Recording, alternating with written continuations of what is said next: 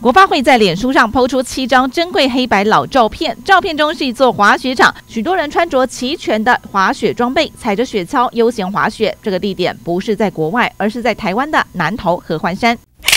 海拔三千一百多公尺的合欢山上曾有座滑雪场，场地相当大。在六十多年前，合欢山每年冬季都会有两个月的积雪期，地形和坡度都很适合作为滑雪场地，是当时政府在开辟东西横贯公路支线时发现的，因此成立了五岭寒训基地，训练国军们滑雪、雪地求生和战技。你在恶劣的天候、冰雪地中，你要怎么样过生活、求生啊、作战啊，还有一般的生活你要怎么过？哦，都是我们训练的方式啊。珍贵照片一抛网，引发热烈讨论。有人抛出父亲当年的滑雪照片，英姿焕发。还有气象专家彭其明也留言说：“我父亲在将近五十三年前当兵，在那受雪训，说准备反攻大陆，要从东北打起。台湾三千公尺高的有两百六十几座嘛，所以你能训练的场地大概是河湾章。”这是最佳的一个场地了。而合欢山滑雪场不止给军方训练，一九六三年在林务局的支持下，还成立了中华民国滑雪协会，推动雪上运动。合欢山就是当时救国团举办冬令营的首要场地，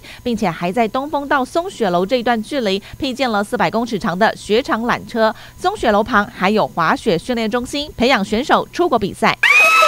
只是近年来，因为气候变迁、地球暖化，合欢山的积雪越来越少，已经无法在滑雪场上进行军方的寒地训练，特战队只好改在高山的积雪山壁进行。